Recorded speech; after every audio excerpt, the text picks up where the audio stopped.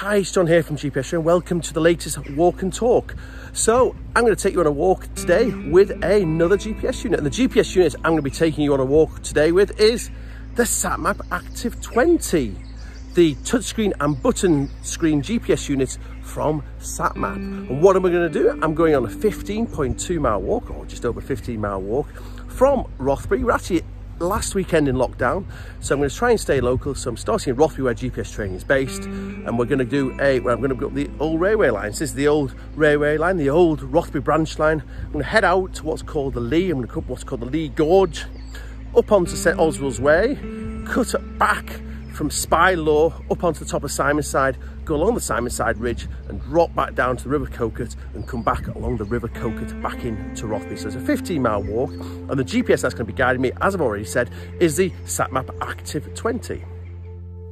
So it's the day before, let's have a quick look at the route planning software. With SatMap, they have some great software called Xpedition 2, which is their route planning software. It's actually online um, and you really should be playing for the premium version. The premium version gives you lots of different map options down the bottom. So again, we can we can select the 1 to 25,000 map here, which will correspond to what we've got on our GPS units.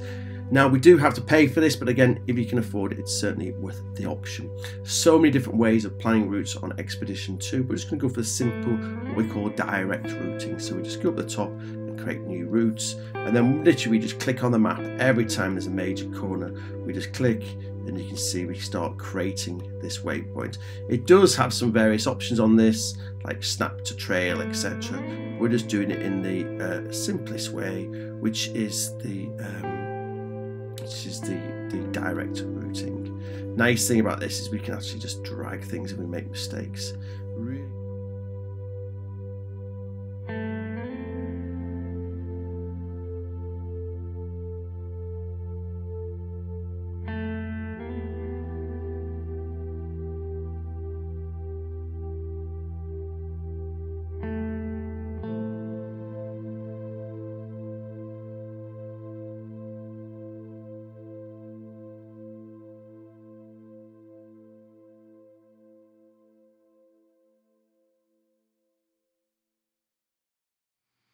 When you finish, just press the escape key, which is, shows the end of the route, and that's all done there. So uh, we can just save all, or we can just actually save the particular route. So just save it there, brings it up, and then we can just call it uh, whatever we want. So we can call it SatMap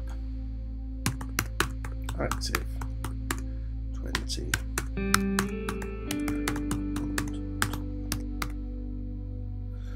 Okay, so we just save it there as well. So again, that saves it into the cloud. We've got the elevation data down at the bottom. What we can also do is then just export it. So there's two ways we can save it into the cloud and then we can uh, sync it via the Wi-Fi onto the unit or we can export it as what's called a, a GPS, a GPX file. Uh, so we can do that there. So we can walk and talk Rothbury. Um, so again, whatever you want, and then you can just export it. Again, nice thing is that you can actually use this for Garmin units as well as uh, SatMap units, because Garmin's, as you may know, are limited to 250 waypoints, uh, but the SatMap is not limited to anything. So we can just export that down here as a GPX file, and then we can literally just drop it on the internal storage of our GPS device, and we're all ready to go. So, the SatMap Active 20. If you talk to anybody about any GPS unit, the key thing they'd say about the SatMap Active 20 is this HD screen. It's absolutely stunning. I've got 1 to 25,000 mapping on it. Again, there's what's called a platinum version, and there's also the 1 to 50,000 version. So you really need to buy it with Ordnance Survey mapping. So it's a stunning three and a half inch HD screen. You can see as I zoom in, the clarity of that map just keeps there. Now I know I'm in the shade here, we'll look at it when we're out walking in the sunshine. So again, the key thing is this clarity of this HD map. It's actually second to none. You can't get, and you don't see anything else like it on any other outdoor GPS unit currently on the market. It's IP68 rating. So again, I think that means it can be submerged for about one and a half hours. So again, very high rating. It's both the buttons and a touchscreen GPS unit. So again, you can see I can press the plus or I can use the buttons on the side So therefore you can use it with your gloves on. You can switch off the uh, touchscreen unit uh, if it's raining and wet and just use the buttons or alternatively on a nice sunny day like today, we can use both the buttons and the touchscreen. It's got the Gorilla Glass, which is really what we see on most GPS units. And the other thing as well, it uses the Galileo, it's the European satellite. You can see it's got a good strong satellite signal up there. Very good satellite signal because it uses the Galileo as well as the other satellite system. So overall, really nice GPS unit. Again, dead easy to navigate around just press this little page button and you kind of go through the page numbers. Again if you if you look it's actually based on a, on a windows operating system. So again you can kind of once you understand that you see the way it boots up etc and other black screens. It's just like a windows computer when it's booting up. So let's get on and get walking with it. What do we need to do? We need to reset our uh, track. So again we just go to our, uh, our trip computer page. And as long as everything's zero we can just press the start Okay, so you can see that's starting to count up now as we've started to do it. So it's starting to record our track. You can see also at the top, we get the little green play button, which tells us that our recording our track. Just note there, that's the battery um, setting, just that green there. And I've actually set a field up, so we've got 97% battery life. So we can see how that is. You can see the trip actually said we've moved 16 feet so far. We're not actually moving anything, but that's just because it's, it's struggling in this gorge where we are to get a satellite signal. Next thing we need to do is load that route. So again, we go into our, I say we go into the main menu, it shows the active map, it's a 125,000 mapping. Active route is actually nothing. So we find the routes, we go to folders, and we can find within the folders the um, the, the, the various ones. So here's, here's it is below the SatMap Active 20 walk and talk. And what you do on a SatMap, you activate it. So that's us now navigating the route. If we then go to our map page, we can see it's overlaid on the route there. Um, it's actually just a little bit north of where we are there, but actually we're going through the gorge and then we'll drop into it. So again, you can see the route above there and, and, and we can, we're going to walk along here and just join the route a little bit further up. That's not very good route planning, isn't it? I've actually planned the wrong place to start off with. Hey ho, that's the way we go. So without further ado, let's get on, get walking with our SatMap Active 20. First part of my walk is just taking me up what's called the old Rothbury branch line. This is the old railway line that used to come into Rothbury. Um, it used to be a tee off uh, from Scott's Gap. So people know the area. There's a very famous uh, railway called the Wanney line that used to come from Morpeth across, across the Wannies and used to, I think, end up at West Woodburn. And there was a, uh, the branch line came off, or the Rothbury branch line came off at Scott's Gap. So Scott's Gap, uh, where you might know there's agriculture merchant there, now at the old station, um, there's a branch line came off all the way to Rothbury. Um, it actually ended up at Rothbury. It was intended to go up into Scotland. Uh, with a lot of these things, they kind of ran out of money, didn't they? Across, and they can't really see it. On the other side of the river here is Cragside. So this is Cragside, the former home of Lord Armstrong. First house to be powered by electricity from hydro-powered electricity. Uh, there's some lakes up on the top called Nellie's Moss and the by gravity effect um, drop through some turbines power the house by um, electricity. If you've been to Northumberland, more than likely you've been to Cragside. This is the most popular National Trust property in the northeast of England, so more than likely you'll have visited the high ground behind me. We've at Nellie's Moss. So, Rothbury branch line, and Cragside behind me. What a lovely sunny day it is, absolutely stunning. So let's have a quick look at the navigation experience. So SatMap Active 20, keep saying this, and the key thing about this unit is this HD map, absolutely stunning. Completely different screen technology than we see on any Garmin GPS unit. So this is more like the screen technology we find in your mobile phone or your tablet, a backlit screen. So therefore we get that clarity. So when we zoom in, it's HD, we can just zoom in and zoom out and that keeps that again really nice fast processor that will uh, that will um, bring that map and, and focus it super quick. So really nice there. There's actually the platinum version. So again i can just pass here press go through to the map says there's a 1 to 50,000 that's the 1 to 250,000. That's the street map, which is 1 to 10,000. Again, fairly useless out in the countryside, but good in a uh, village. We're back to that 125,000. So really nice how we can just go between each of those map sets. Again, we don't have to zoom in and out. We can just choose which map set we want it on. But the negative side of it is, with this kind of screen technology in bright sunshine, if I hold that up to the sunshine, we're going to struggle to see it. You know, we really, we can, I can still see it. It's still okay, but it's just like looking at your mobile phone in bright sunshine. Now, there's what you can do and do is just turn it, just shade it, and it's okay. So there's no reason that you can just turn, shade it in your body, and then you can see it. So again, there's pros and cons. We've got the, it's less good in the bright sunshine, but again, there's no reason we can't just turn it, shade it, and we're, better there. But then the positive side is we get this um, quality HD screen in this SatMap Active 20.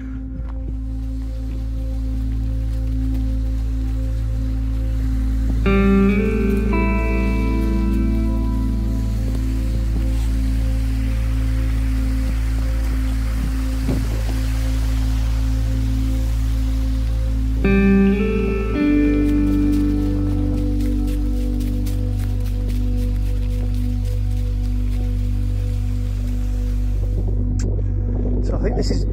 real key point where GPS really comes in. Look where I am now. Heading towards the Simonside Hills, what we can see here. I'm actually heading up to join St Oswald's Way. I think it's just going to be where those trees are on the high rise. And I think that's going to be Spylaw. I was kind of guessing there anyway. So I'm kind of here, look. 360s. There's just no path, there's? Absolutely no path where you go. So you might look and go, oh, well, there on the horizon. Might be a path there. Or there might be a path there. You've not got a clue. But by looking on your GPS unit, any GPS unit, you can see exactly where I am. So I'm on the right away, walking across this field. So again, I've got this, it's what's called track up, so it's pointing the direction I'm walking in. And I'm literally uh, directly on the right away. So without this, I can kind of look and go, well, you know what? I can use my judgment and go, that looks like the path rising up in the distance. I can come back, look at myself on the map, and make sure. So you can see actually I went wrong here because I missed this path. You can just see there, I can actually just scroll the map across. You can see where I went wrong. When I came through this gate here, I went wrong.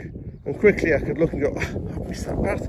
I could trespass, sorry about that. Back across the field, back to my right away, which I'm on. There's absolutely nothing under my feet. So without a GPS unit, you really quite struggle to get across this field. The lovely thing about the SatMap, when you use that where I dragged yourself across, to get back, just press this bottom left hand button, takes you back to where you want. So I'm actually off the path, aren't there? You can see, I want to go a little bit to my left, and that takes me back on the path.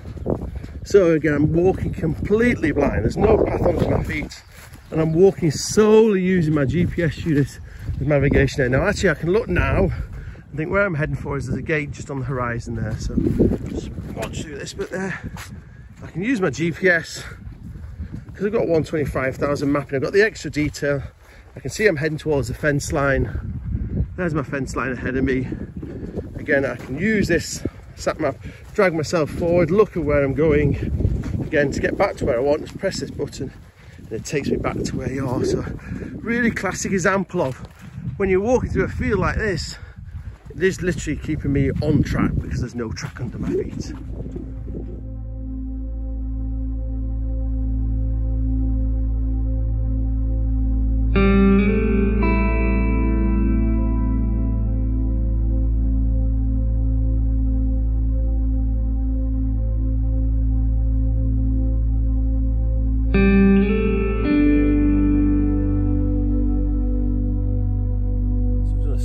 Diversion. I'm actually at Spylaw, so you can see behind me Spylaw. It's actually a, a uh, scout hut or scout uh, camp for Blyth Valley Scouts. There's a sign up there, Blyth Valley Scouts. It's actually in the middle of nowhere. I'm not being funny, we've got you know, Lordenshaws um, back that way, I would say mile and a half, two miles. Harwood in that direction is going to be three, four miles on St Oswald's Way, uh, actually on St Oswald's Way now. It's just in the middle of it. I've walked past it so many times I've never seen scouts here ever, uh, but I suspect they'll come here every so often. I think with the, the local lockdown, we've not, uh, they've not been here for a little while, but it's a fantastic location. Spylaw in the middle of nowhere. Again, it's on St Oswald's Way. Um, if you can hunt it out, it's certainly worth a quick look at. So just before we have lunch, thought I'll have a quick look through the page and just see the, some of the stats. So again, there we are on the one to uh, 25,000 maps. I've just just come off the footpath a little bit I said to, to visit Spylaw. Um, let's go through the pages. So we can again press this, go through the pages. We've got our grid reference there. We've got Latin Long as well. Um, our trip log. So right at the top 7.3, so we're saying it was just over 15 miles. So we're just under halfway. Time now 12.42. Trip time 2 hours 20. 82% battery life. So we've used what 16% um, battery 16% battery life in in two and a half hours. So I've been playing with it quite a bit, which is good. Height above sea level, sunset, sunrise. That's all your trip computer and the elevation data today. So uh, you can see that there. Again, this is our main menu. So we've got the ordnance survey map and this is the active route that we're following, which is the walk and talk. Uh, such, which we can search for various things. Compass page we've looked at already. Um, and then Wi-Fi network. So one thing I'm not mentioning here, one of the nice things about the sat map is when you're at home is you can log on to your local Wi-Fi, both for your updates of the unit and also when you plan your routes on Xpedition 2, you can sync them into the cloud and then sync the cloud with this. So you can bring um, your, your routes and tracks and other things directly onto the unit using Wi-Fi um, at home. Um, that's the yeah, shared data, you can share things as well. And then the satellite signals. So look at this. Accuracy, AWC at the bottom, three feet accuracy. Truly stunning. There's a satellite seal, shows you grid reference at the top, height above sea level. Again, let's just see, we've got battery level top right hand corner, battery level top right. This shows the, the map settings that we've got, the different maps. That knows what shows we're recording our track. This shows we've got a satellite signal um, and this shows our satellite strength. So again, it can't get much better. Three feet accuracy. That's just truly stunning. It shows you the satellites in the sky, doesn't it? So again, it gets our time. So there's the time there, a UTC time, which is the satellite time. That's where we get the satellite, the time from the satellites. And then that brings back to my page. Again, anything you on any page that you're on, you always get this dot here, don't you? So whatever page you're on, just press this dot and that takes you back to the map page. Again, let's just have a look through the map sets. So again, that's 1 to 25,000. 1 to 50,000, you'll see the inaccuracy of the 1 to 50,000 ordnance survey mapping. That's there. Um, that must be the base map. It's just say base map at the top. Um, that's the 1 to 10,000 street view. So that's really the same as the top of active mapping. That's the open source mapping. Um, Again, a lot of people buy this sat map no without any mapping and they kind of end up with this mapping, which frankly is useless, isn't it? We need to, that's one 10,000 street view. Um, you need to get some decent mapping on this. That's 125k.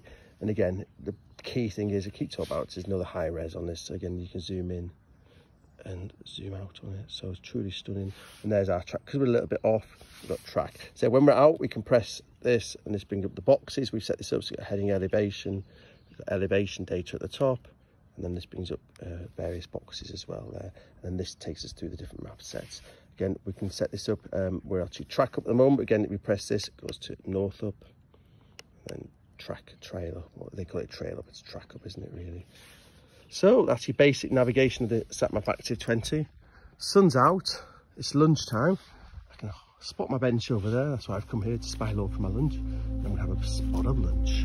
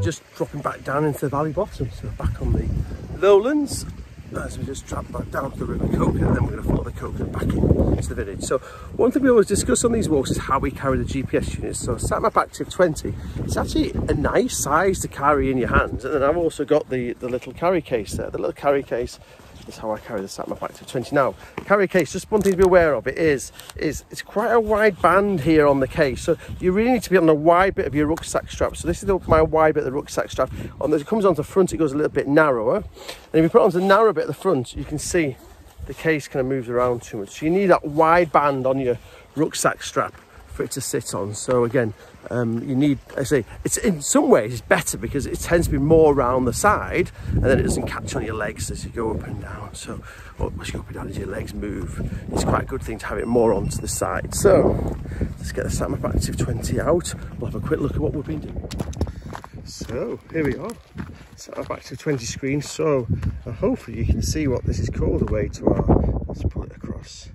It's called Wolves Haugh. Wolves Haugh is away to our left. So if you've listened to my walk and talks in the past, you'll know what a Haugh is. We describe this on the when we were out with the 66 side, didn't we? A Haugh is a flat area next to the river.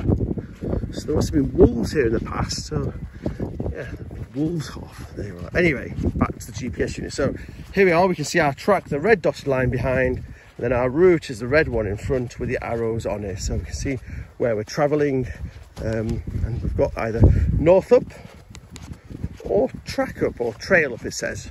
Um, track up and then that's us where that circle is so we're coming across this field bound so you can see coming across the gate which is just above just ahead rather and that's what we can see on the GPS unit. Let's go to our trip computer which shows that so far I've done 13.6 miles it's taken 4 hours 45 minutes. Um, battery level truly stunning. Look at that it's there it's near full there I know we put this field 73% battery life left. We've been going for four and and enough five hours, haven't we? We've been playing around with it a lot in those five hours. So really, that's five, 10, 20 hours of battery life. That's not bad going, is it really? Not bad going at all. So let's have to wingle my way through this gate.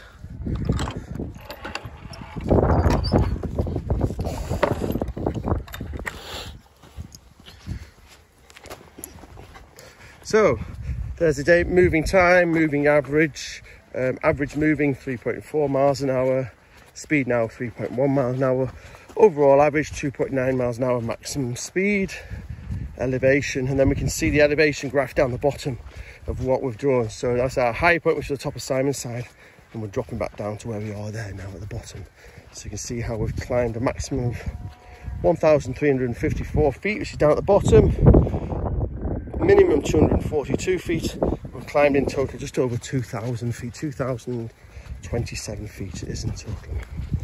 All right, so that's our main menu page. Search we don't need compass. Again, don't forget when we're navigating the compass, that's our electronic compass, three axis compass on the sat map, which means it doesn't have to be kept flat like a traditional compass. Again, it does need calibrating, and then that's our pointer. So again, if you just want to see which direction you want to walk in, you can follow the pointer there, and there we go and back to the compass page. And I think the last one our Wi-Fi network sorry. Shared data GPS status. And we've still got that three meter three foot accuracy. So it's just over a meter isn't it? It's just stunning really. And back to our map page. Right that's the kind of look around and this is Wolves Haugh. Where no wolves here today I think there's plenty of sheep just about to lamb because the end of March and Lambing's just around the corner. So the Ladies Bridge just ahead, uh, which takes us over the River Coquet. We'll head back into the village.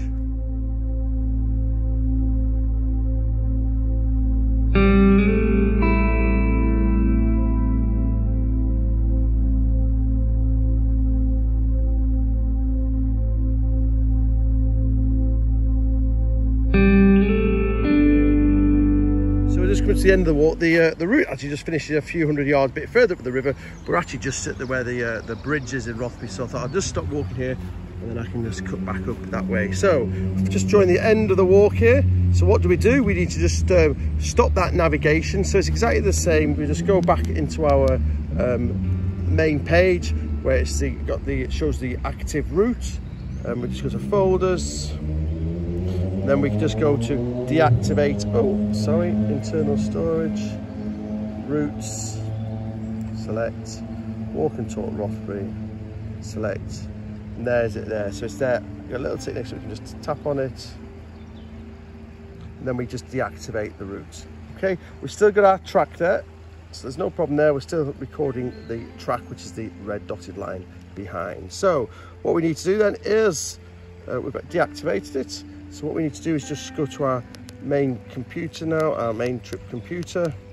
So we just go back through our pages, page, page, page, GPS status, back to our trip log, and then we just literally press the stop button. All right, stop button's there, and that's stopped everything that we've done. So we've done 15.2 miles, five hours 15 and there's all the information you can see at the top now that little play green play is now the uh, looks like a pause sign. And then we've got press the actions button so we press actions. And what we can do is save and clear. So we then save and clear. Go back down the bottom and press select. Okay are you sure you wish to clear your trail? Yeah. so we just click yes. So saving the track that we've created saving it and then it's cleared it there. And there's our track being saved which is 15.3 miles long. And there it is overlaid on the ordnance survey map I very much hope you've enjoyed the latest walk and talk with myself, John, from GPS Training. And that was all about the SatMap Active 20. If there's another unit you'd like me to cover in future episodes, please do put, a note in the comment box below. And again, if there's any specific feature within that unit, again, you would like me to cover, please do. And I'll, I'll cover that in future episodes. So it's my last Rothbury uh, walk and talk because actually next weekend we can go a little bit further afield because lockdown finishes. So to head a little bit further up into the Cheviot Hills and I'm going to do some uh, a walk and talk with another GPS unit. So again, if you have any feedback or comments about anything you would like me to cover in future ones, please do leave it in the comments box below. And thanks very much for watching.